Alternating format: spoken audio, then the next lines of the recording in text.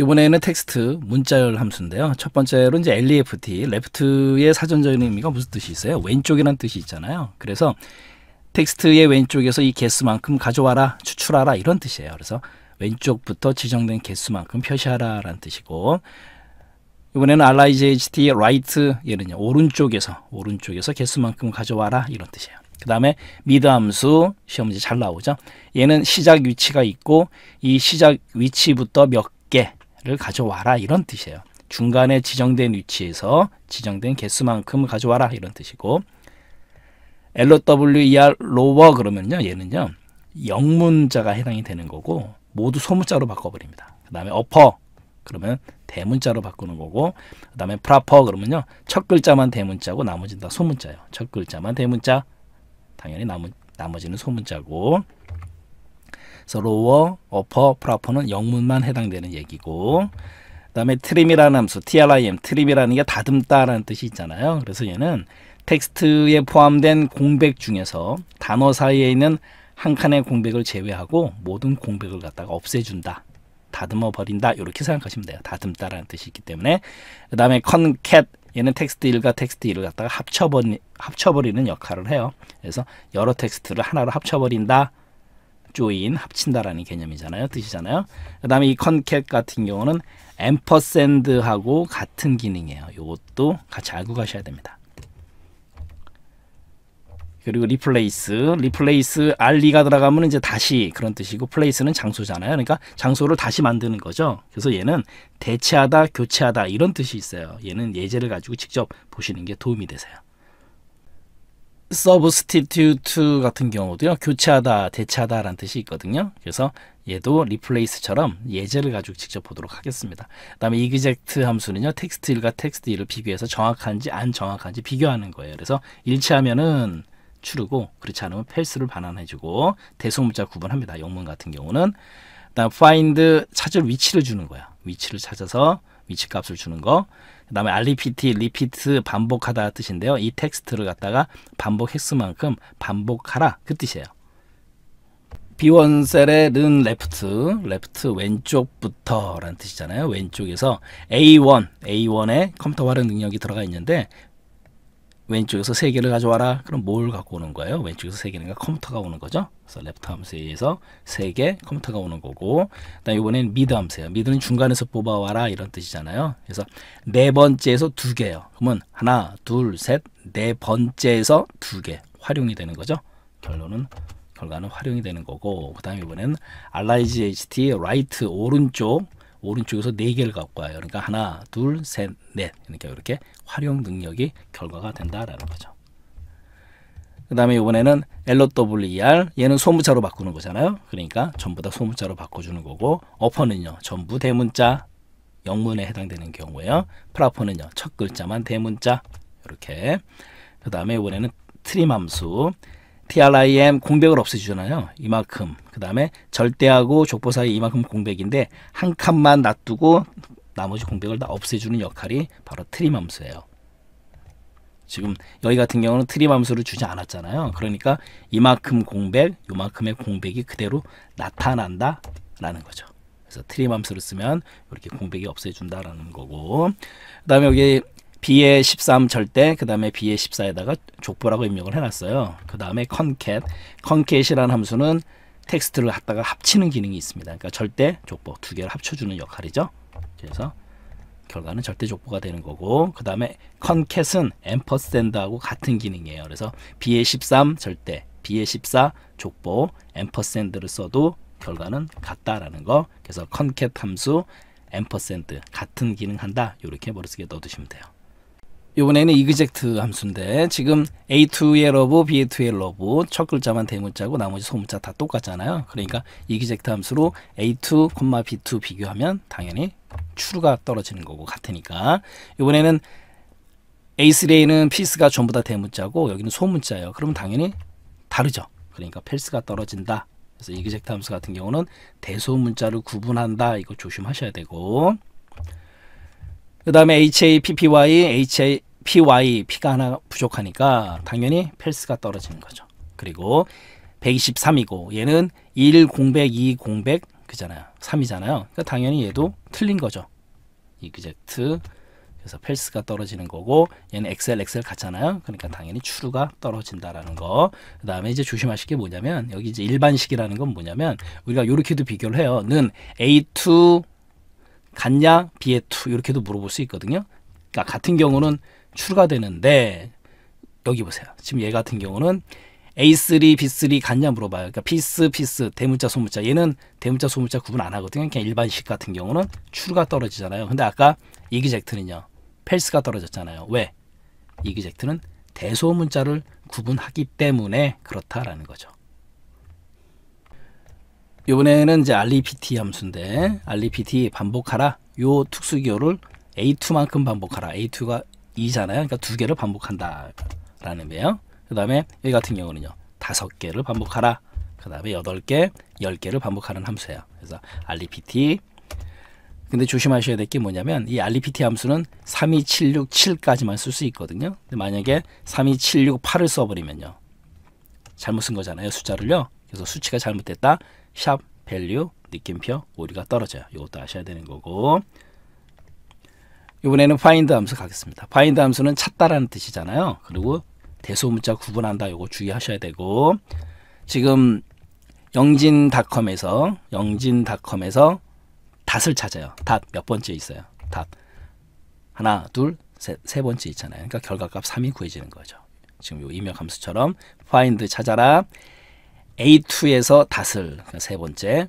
그 다음에 대소문자 구분하는 거. 지금 find 소문자 2를 찾는 거예요. A3에서. 소문자 2니까 맨 앞에 excellent에서 E는 대문자 그러니까 안 찾는 거죠. 하나, 둘, 셋, 넷. 소문자 e는 네 번째 있다. 그래서 결과는 위치 4가 되는 거예요. 그래서 대소문자 구분한다. find 요거 조심하셔야 되고 그 다음에 여기 같은 경우 find A2에서 A2 영진닷컴인데 거기서 홍을 찾아라. 있어요? 없어요? 없잖아요. 그러니까 value error가 떨어진다. 요것도 같이 알고 가셔야 돼요. 마지막으로 replace 하고요. substitute 함수인데 사용하는 형식 복잡하게 되어 있어요. 이거 보지 마시고요. 예제를 가지고 신경 쓰세요. 보겠습니다. replace 서울시인데 세 번째부터 시작을 하는 거예요. 세 번째, 세 번째 시잖아요. 시. 서울시의 시 세 번째에서 한 개를 그러니까 시 얘를 뭘로 바꿔라? 공백 주고 특별시로 바꿔라. 이런 뜻이에요. 그러니까 서울 한 칸 공백 주고 시를 특별시로 바꾸는 거예요. 이게 바로 replace 함수입니다. 그래서 서울시 3,1 특별시 이렇게 머릿속에 넣어두세요.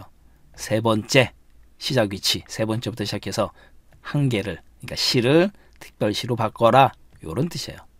그 다음에 요번에는 substitute 교체 여기 보면 이제 have a nice day라고 돼 있고요. 그 다음에 여기 have a nice day에서 day의 e가 이게 a잖아요. 원래는 잘못됐잖아요. 그러니까 e를 a로 바꿔라 이런 뜻이에요. 간단합니다. have a nice day e를 a로 바꿔라. 그런데 뒤에 있는 요 3은요. 찾을 위치예요. 그러면 e가 have에 여기도 있고 나이스에 여기도 있고 그렇잖아요. 그러니까 세 번째에 있는 이를 이런 뜻이에요. 그러니까 하나, 둘, 세 번째에 있는 이 이를 뭘로 바꿔라? A로 대문자 A로 바꿔라 이런 뜻이에요. 그렇기 때문에 결과는 a nice day에서 day가 A로 바뀐다라는 거죠. 그래서 substitute replace 함수는 예제를 가지고 머릿속에 쏙 넣어두시면 혼돈 오지 않으실 거예요. 네.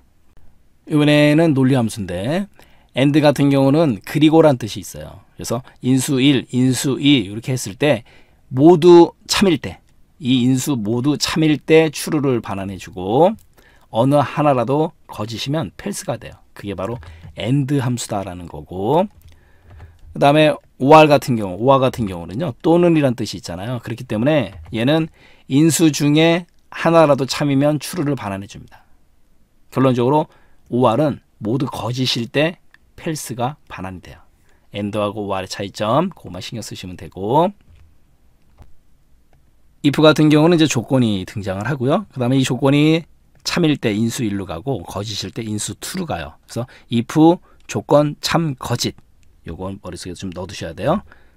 if 조건이 나오고 참 거짓 그래서 참이면 인수 1 거짓이면 인수 2 그다음에 조건이 여러 개인 경우에 인수 2에 이 거짓 자리 이 부분이 또 등장을 해요. 그 예제를 가지고 있다 보기로 하고요. 그 다음에 ifs, ifs 같은 경우는 조건이 여러 개인 경우에 사용하는 함수예요. 얘 같은 경우는 이 부분이 여러 개 등장하지 않는다라는 거고, 그래서 조건식 1, 참인 경우에 값 1, 그 다음에 조건식 2, 그 다음에 참인 경우에 값 2, 이런 식으로 나와요. 그 다음에 스위치, 스위치 같은 경우는 무슨 뜻이 있어요? 바꾸다, 변환하다 이런 뜻이 있잖아요. 그래서 변환할 값이 오고, 그 다음에 일치시킬 값 1, 일치하는 경우에 리턴 시킬 값 1, 이런 식으로 그 다음에 마지막에 일치하는 값이 없을 경우 리턴 시킬 값 이렇게 나와요. 그게 스위치 함수고 그 다음에 if 에라 if 에라이면 이 수식이 에라이면 이렇게 리턴 시켜라 반환할 값이 나온다라는 거예요. 그래서 if하고 에라가 합쳐진 함수다라는 거. 이 수식이 에라가 아니다 그러면 그 수식이 제대로 된 결과를 뽑아주는 거고요. 이 수식이 에라다 그랬을 때 이렇게 뿌려준다라는 거예요.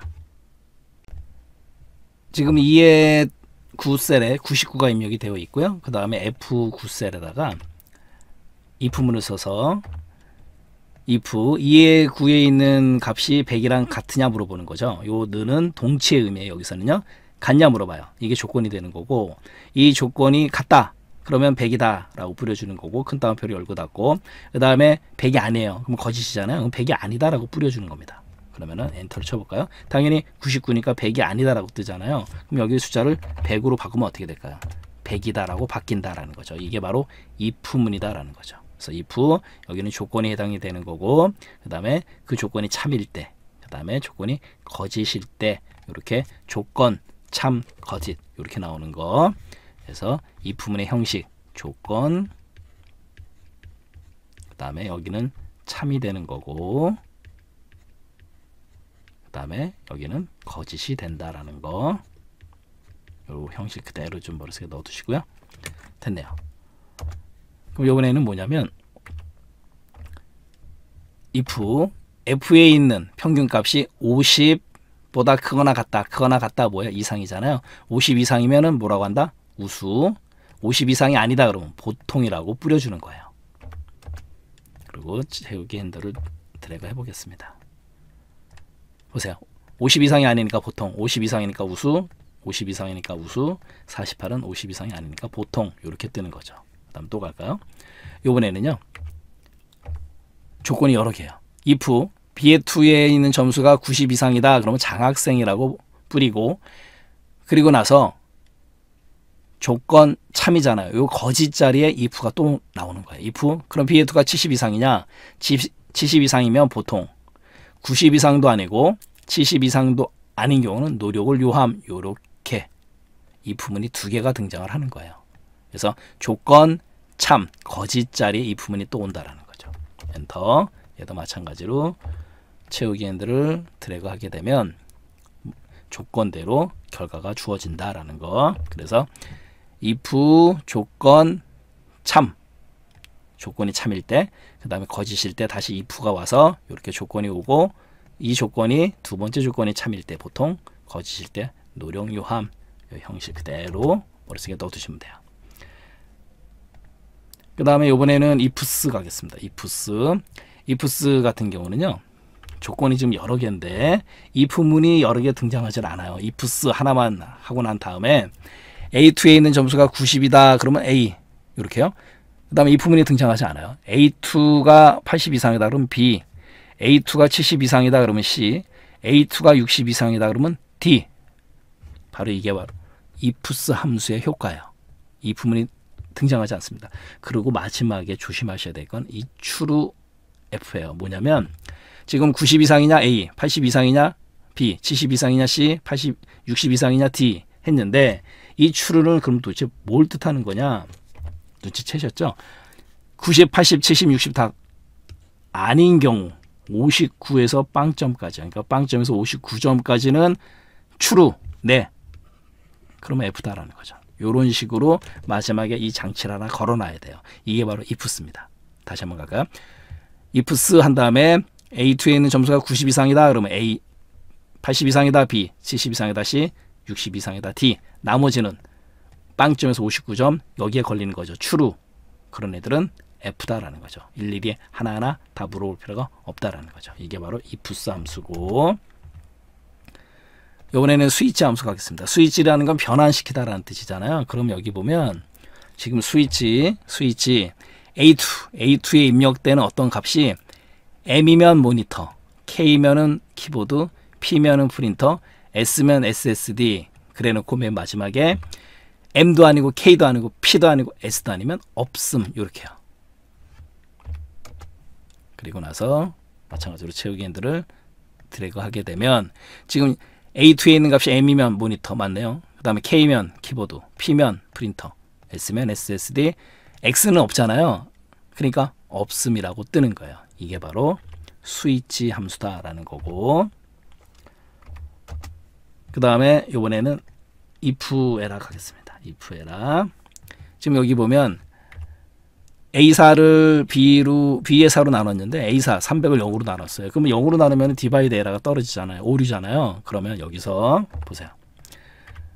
if 에라를 쓰는 거죠. if 에라 A2를 B로 2로 나눈 값이 이 수식이 오류냐 오류가 아니면은 결과를 계산해 주고 오류다 그러면 수식 오류라고 뿌려주는 거예요. 그게 바로 if error입니다. 얘 같은 경우는 100을 10으로 나눴으니까 10 나오잖아요. 맞잖아요.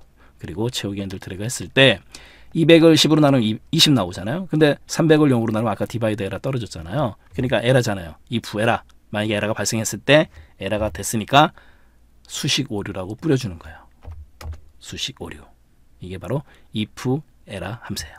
네. 날짜 시간 함수 date라는 함수는요. 연, 월, 일을 콤마로 구분해줘요. 요거 신경 쓰시고 연, 월, 일을 콤마로 구분한다. 데이트. 그 다음에 E date 함수는요. 이 E는요. elapse를 뜻해요. E LAPSE elapse가 무슨 뜻이 있냐면 경과하다, 지나다 라는 뜻이 있어요. 그래서 문제에서 주어진 이 시작 날짜를 몇 개월 지났는지 알려주는 거예요. E date, elapse date입니다. 그래서 이 개월 수가 양수이면 뒤로 이후 날짜가 되는 거고 음수이면 전 날짜가 돼요. 요거 조심하시고 E date 시험 문제 잘 나오니까 elapse date를 뜻한다는 거. 그다음에 days 종료 날짜, 시작 날짜, 종료 날짜, 시작 날짜, 날수, 일수를 얘기하는 거예요. 종료 날짜하고 시작 날짜 사이에 일수를 구한다라는 거. 그다음에 time 얘도 마찬가지로 시분초 콤마로 구분한다라는 거 신경 쓰셔야 되고 데이터 함수처럼 연월일 시분초 전부 다 콤마로 구분한다라는 거고 그 다음에 아워 그러면 시간이잖아요. 시 시간에서 시를 뽑아와요. 그 다음에 minute 분이잖아요. 시간에서 분을 뽑아오는 거고 second 초잖아요. 시간에서 초를 가져오는 거예요. 단어의 의미 그대로 생각하시면 되는 거고. now 같은 경우는 괄호 열고 괄호 닫고 아무런 인수가 필요가 없어요. now가 무슨 뜻이에요? 지금이잖아요. 그래서 얘는 오늘 날짜와 현재 시간을 갖다 표시해 준다라는 거 인수 필요 없어요. 괄호 열고 괄호 닫고 그 다음에 today 오늘이란 뜻이잖아요. 얘는 오늘 날짜를 갖다가 자동으로 삽입해 준다. 얘도 마찬가지로 인수가 필요 없어요. 가로 열고 가로 닫고 끝입니다. 그래서 now today 함수. 그 다음에 year라는 건 날짜에서 연을 뽑아오는 거고 month라는 건 날짜에서 월을 뽑아오는 함수예요. 그 다음에 또 시험 문제 잘 나오는 게 end of months라는 함수인데요. 이, 이 오가 end of예요. end of. 그러니까 months는 월이니까 end of 그럼 무슨 뜻이에요? Months의 끝, 달의 끝 이런 뜻이잖아요. 그렇기 때문에 얘는 시작 날짜 전이나 이후 바로 제일 중요한 거 마지막 날 달의 마지막 날을 나타내줘요. 이거 정말 조심하셔야 됩니다. 시험 문제에서 엄청 잘 나와요. 마찬가지로 이 개월 수가 양수이면은 이후 날짜가 되는 거고 음수이면 이제 전 날짜가 된다라는 거. 그래서 다시 한번 강조해 드리는 거. e date, elapse date, end of month 요거 시험 문제에서 잘 나오니까 반드시 신경 쓰셔야 돼요. day 함수는 날짜에서 일을 뽑아오는 거야. 1. 그다음에 weekday라는 건 뭐냐면 조심하실 게 날짜에 해당되는 요일인데 중요한 건 그 번호를 구해주는 함수예요. 이거 정말 조심하셔야 됩니다. weekday 날짜에 해당되는 요일 번호를 갖다 반환해 주는 거예요. 요일을 반환해 주는 게 아니고 요일의 번호입니다. 그러면 이 유형이 중요한 거죠. 유형을 1로 했을 때 요일 번호가 1이 나왔다. 이 날짜에 해당되는 그러면 그건 일요일을 뜻한다. 이렇게 아셔야 돼요. 그래서 유형이 여러 가지가 있는데 여러 가지 유형 신경 쓰실 필요 없고요. 그냥 위크데이는 요일의 번호를 구해준다. 그거 하나만 좀 신경 쓰세요. 그리고 net NET 순수하게 work 일한 날 net work days예요. 그래서 시작 날짜와 끝 날짜, 시작 날짜와 끝, 그 다음에 작업 제외 날짜, 시작 날짜와 끝 날짜 사이에 전체 작업 일수 work days, 그 다음에 전체 작업 일수에서 당연히 작업 제 날짜를 갖다가 제외하는 거죠. 그 다음에 week 넘 주의 수 날짜가 속한 1년 중 몇 번째 주인지 나타내는 함수가 바로 week 넘이에요. 몇 번째 주 그것만 신경 쓰시면 되고 그 다음에 workday 뭐예요? 일한 날 이런 뜻이잖아요. 그래서 얘도 마찬가지로 시작 날짜, 날짜 수, 그다음에 작업 제외 날짜, 시작 날짜 전이나 이후 날짜 중에서 평일의 날짜 수만 나타낸다. workday 일한 날이니까요. 그리고 작업 제외 날짜 당연히 제외할 수 있다라는 거죠. e date, elapse date 경과한 날짜잖아요. 그리고 이제 안에 데이트 2024년도 3월 1일 이렇게 날짜가 나와 있는데 콤마 2는 뭘 뜻한다? 3월 1일서부터 두 달이 경과했다라는 뜻이에요. 지금 플러스 2니까 뒤로 가야 되는 거죠. 그러니까 3월 달서부터 두 달 후니까 4월, 5월이 되는 거죠. 그래서 결과는 2024년도 5월 1일이 결과가 되는 거예요. 그래서 아무것도 아니에요. 어려운 것처럼 보이지만 elapse date 두 달이 지났을 때 3월 1일서부터 두 달 지난 거 5월 1일이 된다라는 거예요. 어렵지 않아요? 그 다음에 end of month 또 시험 문제 잘 나오는 거 end of예요. 얘는 end of month 월의 끝. 얘도 마찬가지. 2024년도 9월 1일서부터 9월 1일인데 한 달 뒤에 한 달 뒤, 한 달 뒤에 마지막 날 end of 그러니까 10월이잖아요. 10월인데 10월의 마지막 날 10월 31일 요렇게 반환해 줘요. 요게 e date하고 end of month가 시험 문제 이렇게 잘 물어봐요. 이거 조심하셔야 됩니다. end of month는 달의 끝이에요. 달의 끝. 9월 1일, 9월 달에서 한 달 뒤니까 2020년도 10월, 그 다음에 end of이기 때문에 31 이렇게 온다는 거 조심하셔야 되고 그 다음에 net 순수하게 여기서는 망이란 뜻이 아니고 순수하게 work work 일한 날들 그래서 2023년도 3월 1일서부터 3월 31일까지 요 기간 동안 일한 날을 구하는데요. 문제는 뭐냐면 3월 1일은 제외. 그래서 20일을 일했다라는 거죠. 요렇게 계산하는 거예요. 그 다음에 weeknum이라는 건 몇 번째 주. 그래서 2024년도 1월 17일이 몇 번째 주. 일을 줬어요. 세 번째 주. 요걸 뜻한다라는 거예요. weeknum 몇 번째 주. 그것만 신경 쓰시면 되고. 그 다음에 work 일한 날. 2024년도 4월 1일서부터 3일이 지났어요. 3일. 그러면 4월 1일 기준으로 3일이 지나면 2일, 3일, 4일이잖아요. 그런데 여기 4월 5일로 나왔어요. 왜요? 지금 뒤에 6, 뒤에 6 보세요. 뒤에 6 가니까 2024년도 4월 4일은 창립 기념일이라 쉬었어요. 그러니까 이날은 일한 날이 아니죠. 그러니까 4월 4일 건너뛰고 4월 5일이 되는 거예요. 이해하셨나요? 다시 한번 볼까요? 4월 1일을 기준으로 3일이 경과했어요. 그러면 4월 1일을 기준으로 3일이 경과했으니까 2, 3, 4. 요 3일이 이렇게 경과해서 4일이 돼야 되는데 4일은 여기 뒤에 6에 의해서 뭘로 처리했어요? 창립기념일. 그러니까 얘를 건너뛰고 그 다음 날 5가 돼야 된다라는 거죠. 그래서 4월 5일이 됐다 라는 거예요. 네, 포인트 강의 마치도록 하겠습니다.